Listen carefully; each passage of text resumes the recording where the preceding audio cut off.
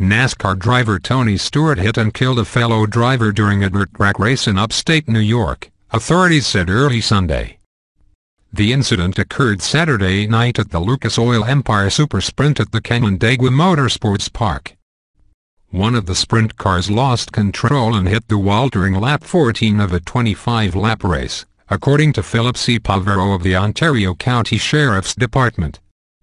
The driver of the crashed car exited his vehicle and walked on the track, where he was hit by Stewart's car, authorities said.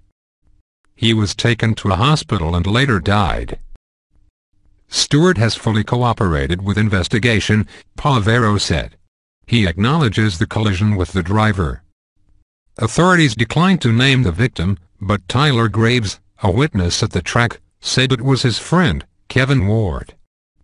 Stewart's spokesman said they are trying to sort out the details.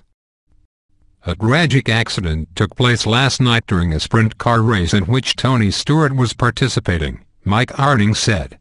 Tony was unhurt, but the fellow competitor lost his life. Our thoughts and prayers go out to his family and friends. An investigation is underway.